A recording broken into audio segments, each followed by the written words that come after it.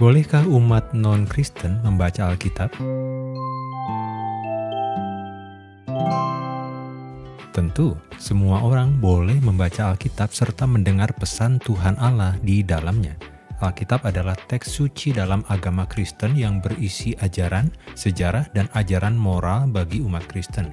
Tidak ada larangan bagi orang dari agama lain atau yang tidak beragama untuk membaca dan mempelajari Alkitab. Banyak orang dari latar belakang yang berbeda membaca Alkitab untuk memahami lebih banyak tentang agama Kristen, lebih dalam tentang nilai-nilai, sejarah, atau bahkan sebagai bagian dari penelitian akademis mereka. Banyak pandangan, hikmah, dan informasi yang dapat dipetik dari membaca Alkitab yang dapat menjadi sumber belajar yang berharga bagi siapa pun, termasuk kamu.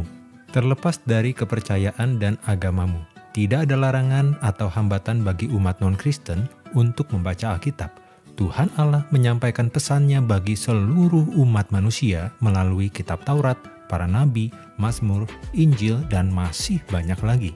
Membeli dan memiliki Alkitab di rumahmu tidak melanggar aturan atau larangan apa pun. Jadi, apa pun latar belakang agamamu, kamu diperbolehkan untuk memiliki salinan Alkitab.